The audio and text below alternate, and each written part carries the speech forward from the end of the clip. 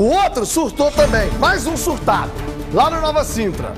Né? Que o candidato ganhou eleição saiu com a arma dando tiro em todo mundo. Matou, matou um jovem de 28 anos de idade. Garanto pra você, garanto pra você o que quiser, aposto que você quiser. Vai entrar na justiça? Não, tem problema, dificuldade, surto. Aí a pena que era de 30 anos cai pra 10, fica 5, é, tem que ficar em casa porque tem problema de cabeça, não pode ficar na cadeia.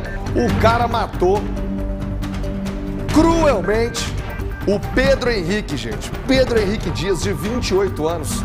Um garoto querido demais do Nova Sintra. Todo mundo gostava, adorava o Pedro no Nova Sintra. Ele matou o Pedro. Ele feriu uma criança que estava no TI, tá na UTI, uma criança. E mais outras duas pessoas baleadas. Mas o quê? Surtou. É. Eu bebi, fiquei maluco, peguei a arma e saí atirando em todo mundo. Chega! Até quando, Lorena Duarte? Muitos parentes e amigos foram ao cemitério em Contagem para dar o último adeus ao jovem. Entre todos, muita dor e comoção.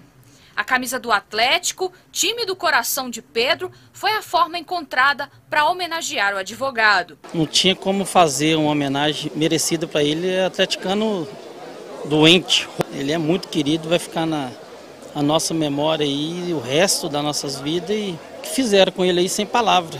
Pedro Henrique Dias Soares foi morto em um bar na garagem de casa na Avenida Tereza Cristina, no bairro Nova Sintra, durante uma comemoração política. A mãe do jovem também foi atingida. Ela foi encaminhada ao Hospital João 23, já recebeu alta e participou do velório do filho. Mas parentes pediram para que ela não fosse filmada. Uma amiga da família também ficou ferida e segue internada no João 23. Antes do ataque, que terminou com a morte de Pedro e as duas mulheres feridas, o suspeito ainda atirou em uma mulher de 47 anos e uma menina de 12, mãe e filha, na rua Tombador, também no bairro Nova Sintra. O suspeito foi preso com duas pistolas logo após o crime e teria alegado em depoimento que tem problemas psiquiátricos. A família de Pedro ainda busca uma explicação para o crime e espera por justiça. O tirador apareceu tirando, então para saber com ele direitinho por que ele fez isso, acabou com a família, do nada, troco de nada, por quê? Ô gente, vou mandar um abraço ao, à família do Pedro Henrique. Eu entrevistei, Pedro Henrique já foi no seu nome, no seu bairro, entrevistei, torcedor do Galo, um jovem apaixonado pelo Atlético, pela vida.